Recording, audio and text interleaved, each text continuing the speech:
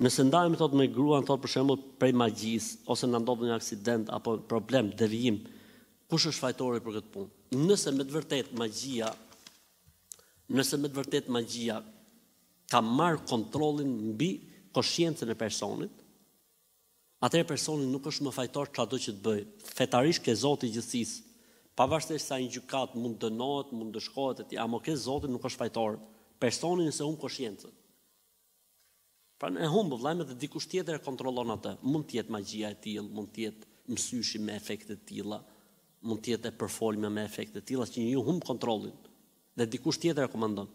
Në këtë rast, njeriu ke Zoti s'është mëkatar dhe nuk është fajtor, ke Zoti flas. Pavarësisht se në gjyqe, në gjykate, në polici e, do të bojë gjobat etj etj flasim, kjo është temë tjetër.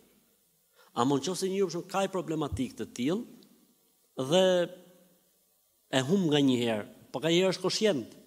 E nëse ai në kohën kur është koshient i bon gabimet është përgjegjës. Dhe nuk mund të arsyetohet vallai ka magji unë prandaj e bona këtë punë. Po mirë ti kur e bone këtë punë ishe i ndërgjegjshëm dhe i përgjegjshëm dhe koshient? Po isha s'ke arsyetim ke zoti. Jo unë e kisha humb nuk di ça kam bërë e ka bërë një gjo shumë të rondë ai nuk e di se ça ka bërë s'është fajtor ke zoti i gjithësisë po edhe po të ketë tamam gjykim të drejtë nuk nuk ngarkohet me mëkat pavarësisht se mund të obligohet që të shlyjë dëmtimet e bëra. Kjo është gjë tjetër që duhet të shlyjë dëmtimet e bëra, por a është mëkatar, jo nuk është mëkatar.